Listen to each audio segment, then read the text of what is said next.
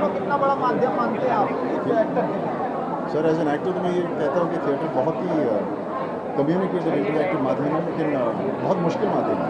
ख़ास करके एक सिनेमा एक्टर के लिए, क्योंकि हमें रीटेक्स के बहुत सारे मौके मिलते हैं, जो स्टेज पर नहीं मिलते। लेकिन वो जो रिएक्शन है ऑडियंस से वो फ़ौरन मिलता है।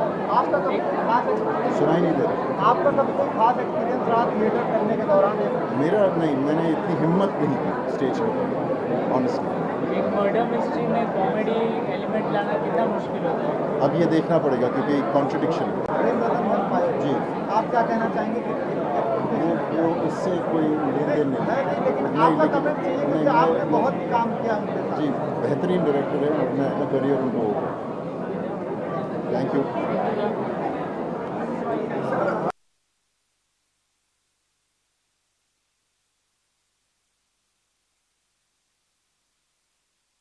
देखने तो दो बोलेंगे क्या? वेट करना पड़ेगा।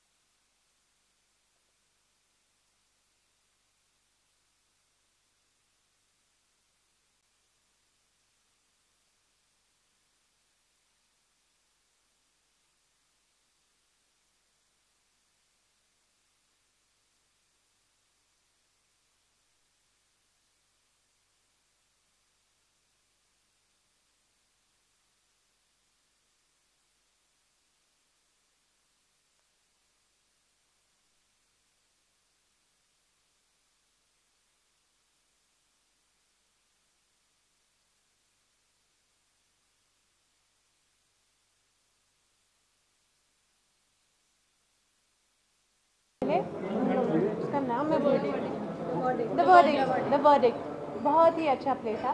और अब तनीषा एक और प्ले कर रही है तो मैं उस प्ले देखने आई हूँ। उसने कहा कि हँसी से लोटपोट हो जाओगी। बड़ा मज़ा आएगा ज़रूर आना। मैं यहाँ ये प्ले कुछ अलग सा है मर्डर मिस्ट्री और प्लस कॉमेडी है। हाँ जी। तो क्या एक्सपेक्ट कर रही है? I am expecting a fantastic play जैसा कि मैंने कहा द वर्डिक्ट जो इनका पहला प्ले था दिव्या दिव्या पलट वॉज़ डायरेक्टिंग इट उसमें तनीषा भी थी और मधु एक्ट्रेस वो भी थी।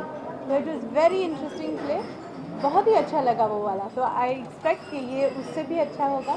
और uh, ये तो इसमें जैसा कि आपने कहा it's a murder mystery but it's also a comedy and Tanisha is a very fine actress तो मैं इंतज़ार में हूँ कि मैं जाकर देखूँ। Yeah?